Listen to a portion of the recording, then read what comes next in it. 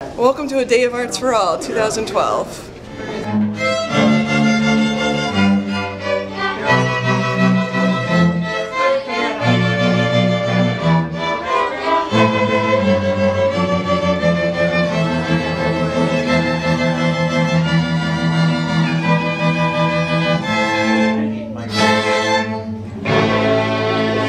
Our community center, we have thousands of people that pass through our doors every month. And each one of them is going to have the opportunity to see the work that can truly be done with people that they say have disabilities. We say have abilities.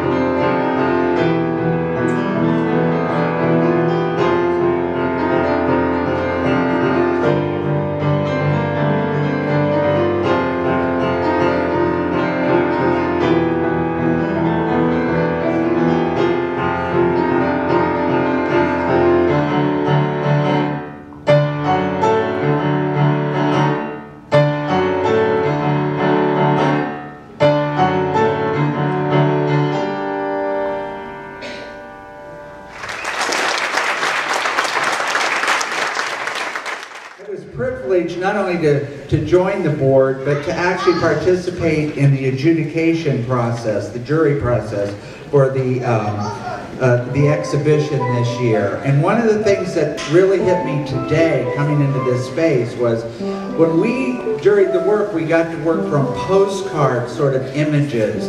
And they were powerful and they were beautiful and it was a very, very difficult job to go through and, and select certain works. But I'm telling you, it is a wow punch when I got here and actually saw the work on the wall.